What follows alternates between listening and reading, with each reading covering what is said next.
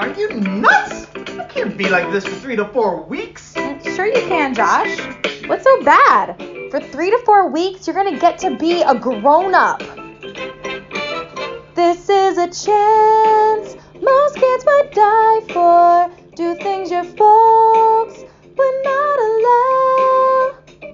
No one barking. Wait until you're older. Look at you. You're a big boy now.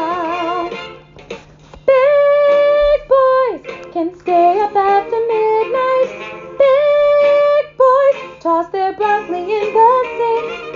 Big boys can rant on scary movies and drive cars and go to bars and smoke cigars and drink. But I don't want to do any of that stuff. All I'm saying is take advantage of what's happening to you. I mean, look at you. Your wildest dreams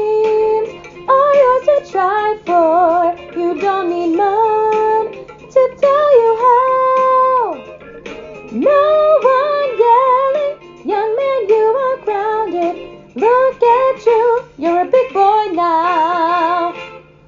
Big boys don't have to clean their bedrooms. Big boys stay up till the ball game's done. Big boys don't have to bank their money. Money. Oh my gosh, what am I gonna do to live? You'll get a job. But I don't know how to get a job. Hey, my Uncle Walter had about 80 jobs, and he's a moron. I'm a kid. Josh, you know you're a kid, and I know you're a kid, but what you look like is a grown up. So you'll get a grown up job.